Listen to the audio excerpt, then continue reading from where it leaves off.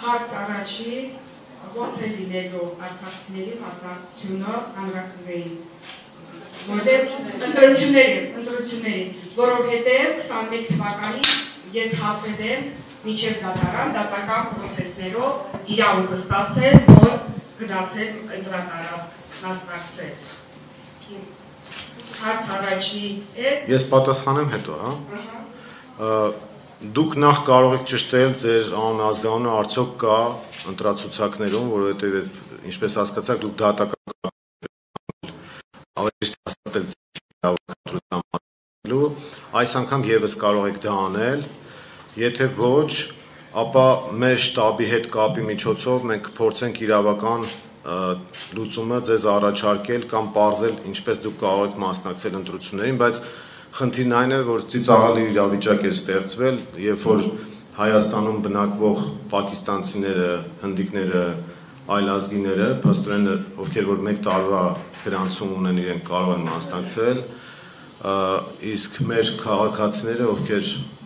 բռնագաղթվածներ են, չեն կարողանում մասնակցել ընտրություններին։ Այս հարցը ես կխնդրեմ մեր շտաբի հետ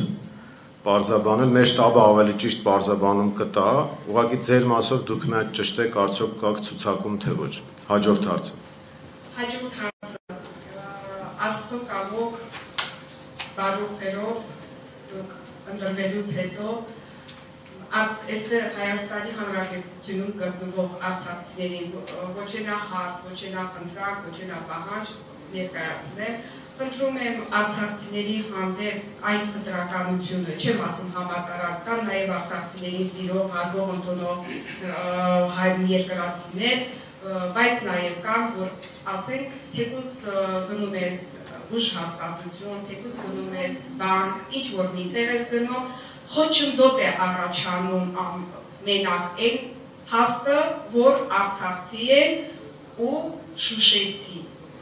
որ մենք չունենք հասցեր, կայուն հասցեր։ Խնդրում եմ արցախցիների եւ որ ասմա օթերը մի քիչ բացեք բարով խերով ձեր ընտրությունից հետո մի քիչ է որ ասма ոչ այնա զավեշտա, ոչ այնա չգիտես ինչա։ Հայը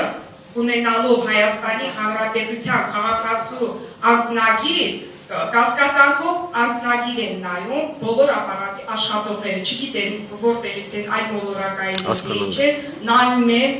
ու զարմանքից ապշում են, որ Հայաստանի Հանրապետություն ագրված։ Այդ ապշողը հայ չի ուզում։ Տեսեք, ես ավելի լայն կվերցնեի ձեր ներկայացրած խնդիրը։ Նիկոլ Փաշինյանը կոնկրետ այն գործիչն է եղել եւ կա, որը բարբերաբար Հայաստանում քարոզել է հայաստանցի դա միայն մեր թշնամիներին է ձեռնտու այդ մտնոլորտը փոխելը մեր կարևորագույն խնդիրներից է եւ իշխանապահությունից հետո ես համոզված եմ բար վերանալու է եւ մենք ազգային միասնության դաշտում ենք աշխատելու Շնորհակալություն առաջ Աստված ձեր հաղթանակով Շատ շնորհակալ եմ